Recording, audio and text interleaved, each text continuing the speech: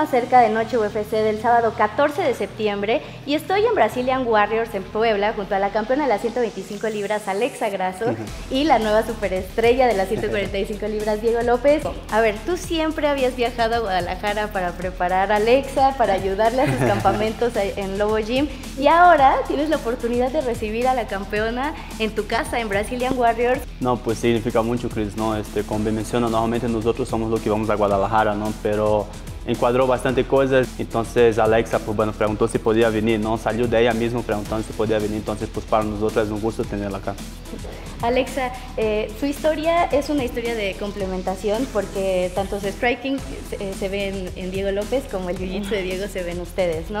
Em, tú ¿Cómo consideras que ha evolucionado ese striking de Diego López? ¿Cómo está el sello de los grasos en ese striking?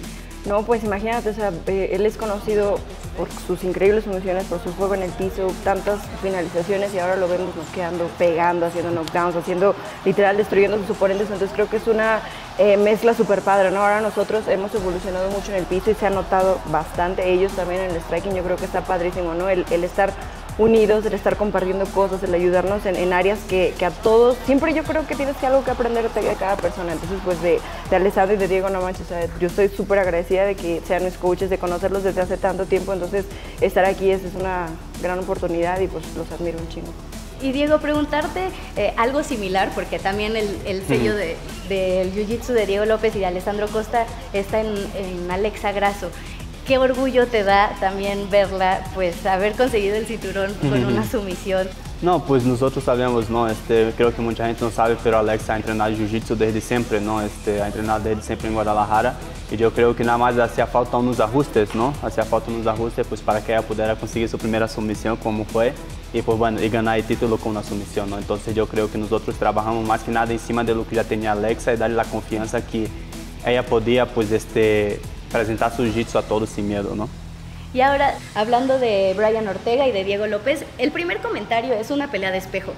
Pero me gustaría enfatizar qué diferencias tiene Diego López con Brian Ortega, tú que lo conoces muy bien, Alex. Pues mira, Brian es un atleta que tiene mucho tiempo en la UFC, ya lo han visto, muchas misiones también, es agresivo, va para adelante. Diego es, yo creo que más agresivo, es, el striking yo creo que lo tiene mucho más pulido, es como un poquito más certero en lo que hace muy explosivo también. Entonces yo creo que es una pelea muy interesante, muy buena. Yo la verdad, yo voy, voy contigo.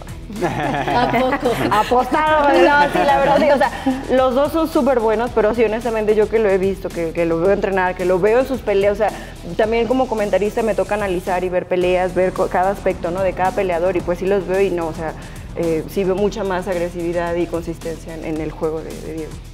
Diego, eh, tú tienes una visión privilegiada en la arena cuando Alexa Grasso pelea porque estás en la esquina, has tenido eh, esa visión en las dos peleas de Alexa Grasso contra Valentina Shevchenko. Pero ¿qué aspectos crees que puede tener Alexa eh, como ventaja en esta tercera pelea con Valentina? Simplemente pues que ella es una atleta que está evolucionando constantemente, ¿no? Cada pelea pues demuestra algo nuevo, ¿no? Desde que ella subió a 125 ha demostrado su evolución.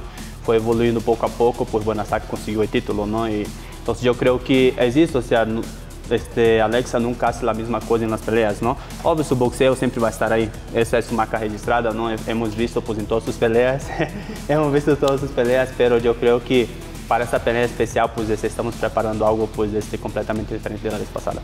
El sello de la casa, como mencionas. eh, Alexa, dentro de este caos que son los entre rounds, cuando te tienes que sentar en el banquito, ¿cómo escuchas a, a Diego López darte los ajustes? O sea, ¿cómo es que lo procesas? Es un proceso de entrenamiento también. Es un minuto en el que llegas ahí al banquito, en el que tienes que respirar, tienes que escuchar y tienes que responder y, estar como haciendo clic con tu entrenador, bueno, con tus entrenadores, de, hacerles entender que sí captaste lo que tienes que hacer. Entonces eso lo hacemos también en el entrenamiento, ¿no? Hacemos obviamente la simulación de sparring, tenemos un minuto para regresar a la esquina, respiras, escuchas indicaciones, el coach dice, ¿qué vamos a hacer? Ok, vamos a hacer eso, perfecto. Entonces, yo creo que mientras eh, lo estamos entrenando muchas veces así aquí en, el, pues en el gym, ¿no? Ahí arriba es como un día más. Ya lo hemos hecho, ya estamos aquí, ya lo hemos vivido, entonces pues es padre, ¿no? Me gusta mucho la sincronía que tenemos porque siempre que llego a la esquina me dejan respirar, me da indicaciones Pancho, me da indicaciones Diego, ok, entendido, y, vamos así cada, cada round. Está, está, muy padre. Eso está súper interesante, o sea, también está entrenado y preparado al 100%. Todo.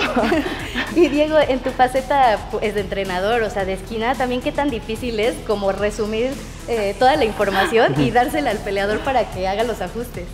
Pues yo creo que la clave principalmente es, la comunicación de la esquina, ¿no? Yo creo que yo y Pancho tenemos una buena comunicación que mientras la pelea va avanzando, este, nosotros estamos platicando antes de dar una indicación, o sea, nosotros tenemos que estar siempre de acuerdo pues, para dar una buena indicación, ¿no? Y hasta entonces que cuando yo noto algo que, que no está a nuestro control, yo le digo a Pancho, eso es que yo creo que entre rounds tenemos que darle esa indicación a ella pues, para que no vuelva a pasar eso, ¿no? Entonces, mesmo antes de llegar al banquito, sentar el peleador, nosotros ya tenemos todas las indicaciones que queremos dar porque nosotros siempre estamos en comunicación. Entonces yo creo que eso es lo que ha sido clave pues, este, en esto que hemos tenido nosotros como, como equipo. ¿no?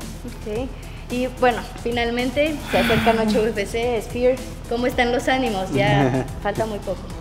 Ay, yo ya quiero pelear.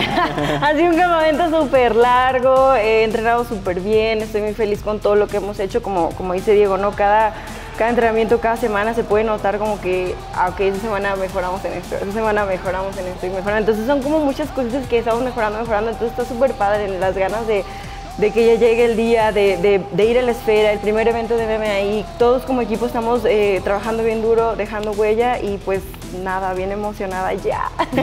y ¿tú cómo lo vives? Ya muy cerca de esta noche histórica, de este evento único, eh, pues tú eres parte de, de, ello, ¿no? Ya como una superestrella, ¿cómo lo estás viviendo? ¿Lo estás disfrutando? Sí, definitivamente, Cris, definitivamente estoy disfrutando, ¿no? Este, el año pasado pues yo había pedido pelear en la cartelera de Noche UFC, pero bueno, por circunstancias mayores no se pudo. Este, y este año pues tengo la oportunidad de pelear, ¿no? El año pasado yo estaba con mi esquina, pues especialmente de Alexa y de, y de Lupi. Este, este año pues vamos a estar compartiendo pues pelea seguida, ¿no? Voy a pelear yo y luego Alex, ¿no? Entonces va a ser una sensación y una, y una emoción para el equipo muy grande, ¿no? Entonces nosotros como equipo estamos pues, muy contentos, muy emocionados por todo lo que estamos haciendo este, y preparados, preparados y ansiosos para llegar a este día.